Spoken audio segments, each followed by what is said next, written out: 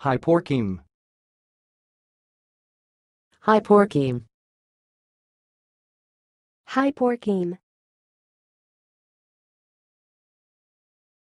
Thanks for watching. Please subscribe to our videos on YouTube.